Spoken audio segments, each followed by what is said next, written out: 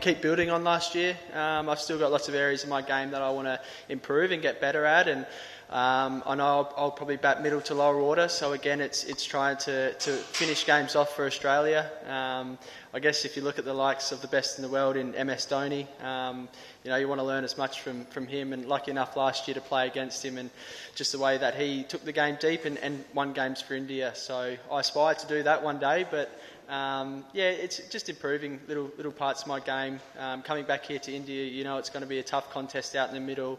Um, you'll probably have a lot of spin through the middle, and then at the end, you know, the world class of, of Bumrah and Shami and, and these guys. So um, for me, it's to I guess keep it simple and, and play my role. And, and, I know it's you know probably wicket keeping and, and batting middle to lower order. So. Um, I'm excited to be back here, um, and, and like I said, just just improve little parts of my game.